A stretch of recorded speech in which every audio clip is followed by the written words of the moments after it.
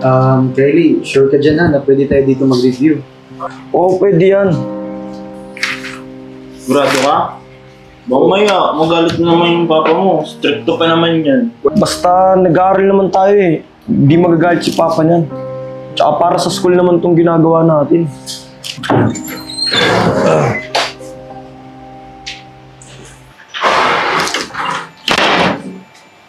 Ano to? Ha? Dito pa kayo nagkalit sa pamamahay ko? Sinama pa itong mga tarantado na to? Nagre-review lang naman kami tayo eh. Ano ka sa akala mo? Ha? May mararating ka? Eh, bobo ka naman eh. Manang-mana ka sa nanay mong basura, putik, at malandi! Sumusobra na tayo! Pati si nanay, nawala na dito. Grabe mo pa rin lait-lait eh. Kaya siguro ng lalaki si nanay. Dahil Ano sobra ba? na. Papalag ka? Ha? Ano ba? Tama na. Anong karapatan mo sumagot sa akin ng ganyan, ha?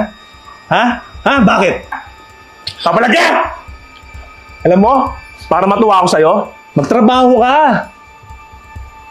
Para makatulong ka naman dito. Hindi yung dagdag palamunin ka ba? Ano kayo? Titintin nyo? Ha?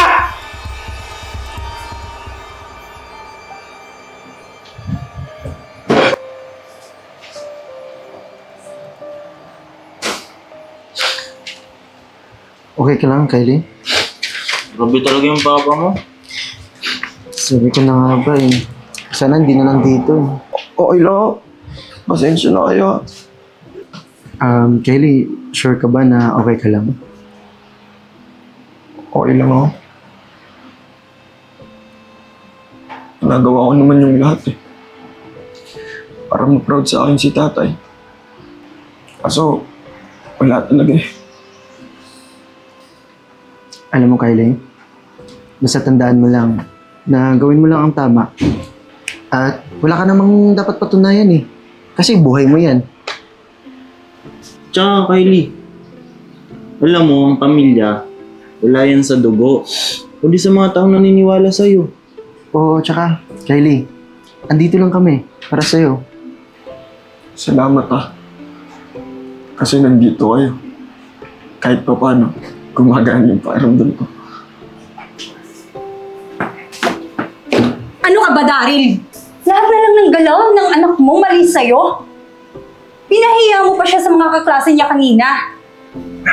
Ka ba naaawa? Lahat na lang ginawa niya. Pati sa pag-aaral, tapos... Kung pakilamera ka eh, ha? Pwede ba huwag mo pinapakilamanan? Ha? Alam mo, kung pwede lang magpalit ng anak, ginawa ko na, matagal na. Daryl, mabuting bata si Kylie. Sana makita mo sa puso mo yon. Tsaka Daryl, mahalin mo na yung anak mo.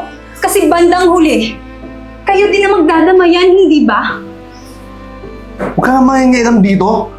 Pinagtatanggol mo pa eh. Wala nang pagbabago yun. Inutil yun.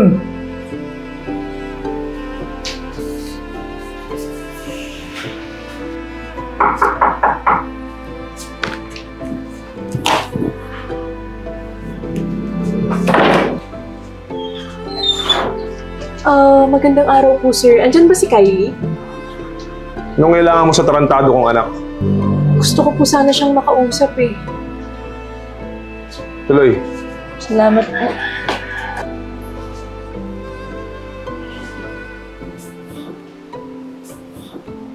Bakit? Ano yung sasabihin mo? Ah, sir, kaya po ako pumunta dito para sabihin na buntis ako. At si Kylie po ang ama. Tarantado talaga yung inutil na yan. Ako pang magbuntis. Ano sa tingin mo? Pananagutan ng anak ko yan? Asa ka pa? Sarili nga, di niya kaya eh. Wala kang mapapala ron. Palaki mo na lang mag-isa mo yan. Tay, anong ginagawa mo dito, Olawi? Halika rito. Tay, si Chloe po, girlfriend ko. Halika nga rito. Ha? Sir, tama na po. Kapal ng mukha mo? Wala ka nang silbi dito sa bahay na to eh. Tado ka? Inutil ka na nga! Wala ka nang silbi! Puro perwisyo ang bitbit mo rito sa bahay! Nagdagdag ka ba? Pal ng mukha mo! Nag-aaral naman ako mabuti tayo. Kaya nga ako nag-aaral eh. Para pag nakatapos ako, makatulong ako sa inyo. Hindi na ako naasa sa'yo! Katulad ka lang din ng ina mo! Ina mong malandi! Ano? Parehas kayo, di ba? Simula ngayon, kalimutan mo nang may ama ka. Dahil makakalayas ka na sa pamamahay na to. Layas! Oh, ba't ayaw niyo pa umalis? Alis!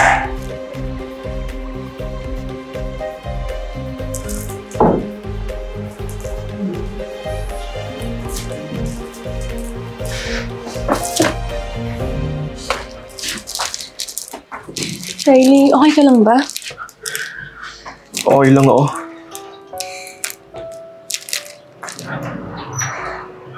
Pinapangako ko sa'yo, Chloe.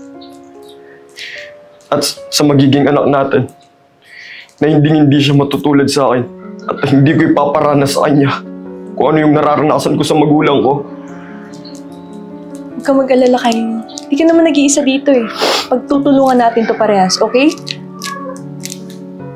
So ano, tara na. Tao po, pre, Joshua. Oh, Kylie. Pasok. Upo muna kayo. Um, um, Kylie, napadaan nata kayo. Josh, may kiusap sana ako. Kung pwede makituloy muna kami ni Chloe dito. Um, ganun ba? Sige, pwede naman. Tsaka ako lang naman mag-isa dito eh. Nasa abroad naman nung mom tsaka si dad. Sige, dito muna kayo. Pwede naman. Pinalayas kasi ko ni tatay sa bahay. Dahil nabuntis ko nga si Chloe. Baka huminto rin muna ako sa pag-aaral. Ano? Sure ka ba dyan?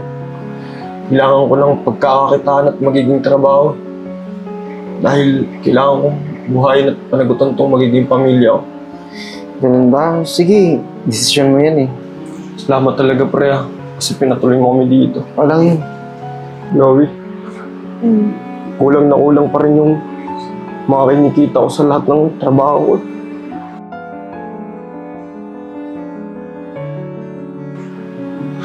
Alos mapudpud na yung kamay ko.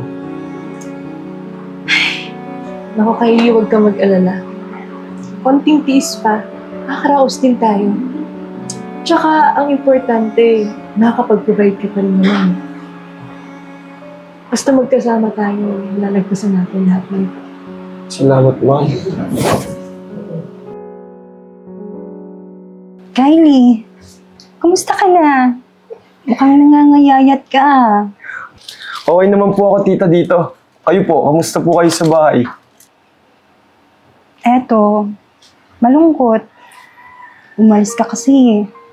Alam mo, madalas ko nakikita yung papa mo sa likod ng bahay. Umiiyak. Miss na miss ka na. Tita, sobrang labo nung sinasabi mo na yan. Si Papa, umiiyak. Namimiss ako. Napaka-imposible. Alam mo, nahihiya lang magsabi yun sa akin. Siguro dahil sa mga ginagawa niya sa'yo. Dapat lang. Tinakwil niya na ako bilang anak niya. Kaya kinalimutan ko na rin siya bilang ama ko.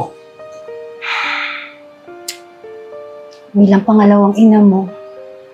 Alam mo, minahal kita bilang totoong anak. Ayoko nakikita yung sitwasyon ganyan. Ito pala, tanggapin mo Ano po to, tita? para yan sa panimula mo. Huwag mong sasabihin sa iba ha. Tita, ayoko man po itong tanggapin. Pero kukunin ko na po to. Dahil na, napalaki po ng pangangailangan ko talaga ngayon eh. Maraming salamat po dito, tita. At pangako ko po sa inyo na makakaasa po kayo na gagamitin ko po to sa mabuti.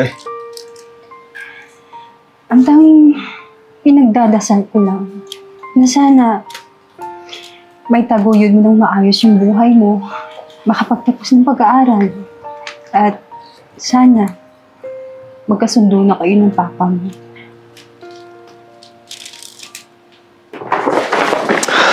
Oh, mahal. Gusto ka na? Oo, Sakto, nagluto na ako. Kumain ka muna. hindi na ako kakain at hinihintay ako ni Ma'am Elizabeth dun sa ospital. Ganun ba? Alam mo, nahatid ko na rin pala yung anak natin. O, buti naman. Kamusta pala yung pag-aaral nun? Okay naman, binabantayan ko siya. Nga pala, alam mo, laki rin pasasalamat ko sa tita mo. Dahil sa kanya, nakapagsimula tayo. Alam mo, mahal, napakalaking bagay talaga nung naibigay ni tita na yun. Dahil doon nakapagtapos ako, natupad yung mga pangarap natin. At syempre, hindi mangyayari lahat to kung di tayo nagtulungan mag-asawa. O sige naman, mauna na ako. Kasi ka mag-ingat ka ha.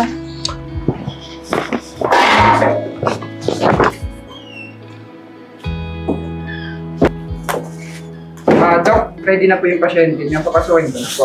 Ah, sige Enzo. Thank you. Sir Daryl, pasok na po kayo.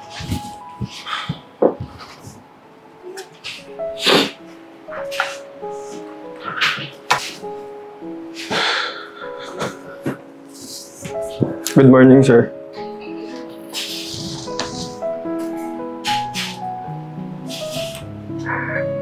Anak.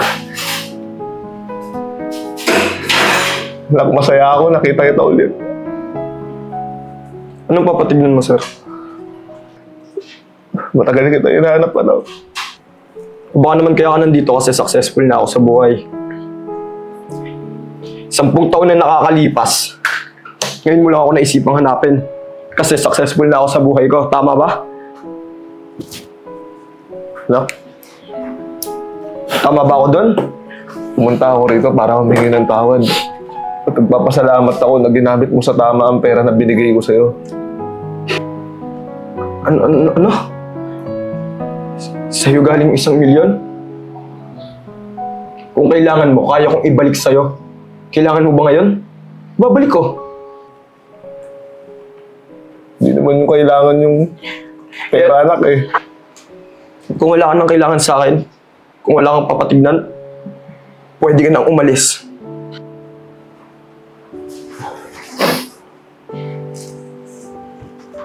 Ingat ka lagi na ka. Sana mapatawad mo ako.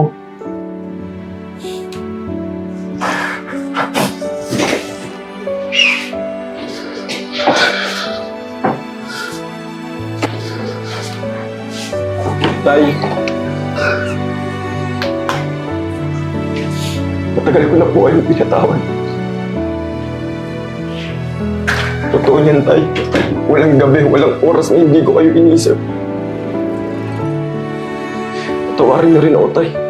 Dahil alam ko may pagkukulang din ako. Wala, yun na. Maraming maraming salamat, ha.